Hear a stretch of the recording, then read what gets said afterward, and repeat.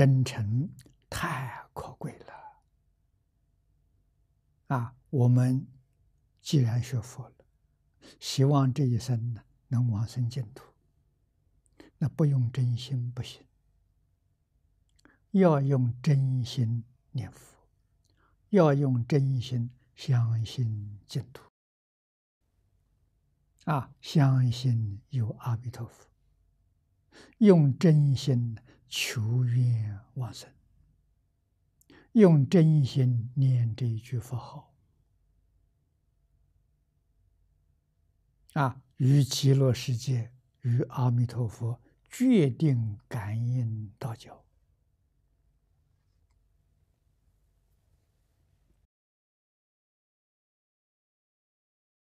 金光明经文句说得好，啊，彻道心源，啊，心源才是真心，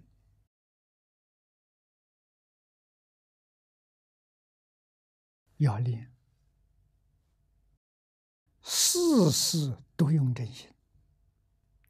也许有人说，在现前这个社会。用真心的人吃亏呀！啊别人用妄心骗我们，我们用真心待人，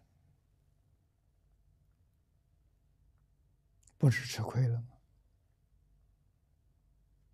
啊，这个亏愿不愿意吃呢？愿意。吃亏小事，吃亏时间短。我们在这个世间、这个世上，也不过几十年而已。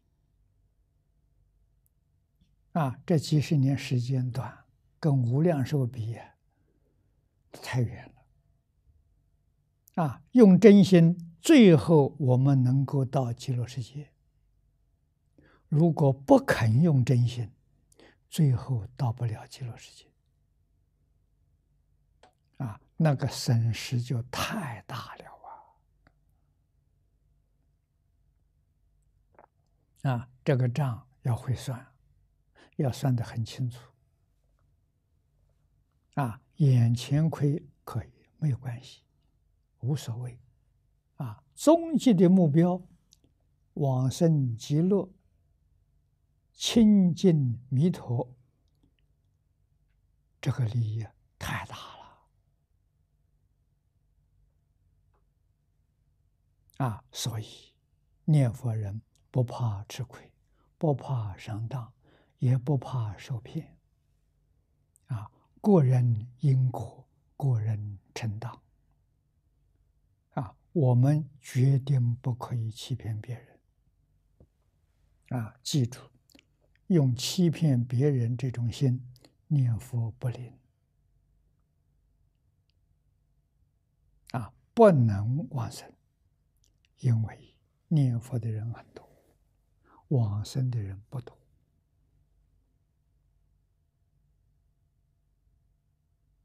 六十年前我初学佛的时候，老师告诉我，一万个念佛人，真正能往生只有三五个，比例很少啊。那么，在中国古代，念老注解里头引用不少。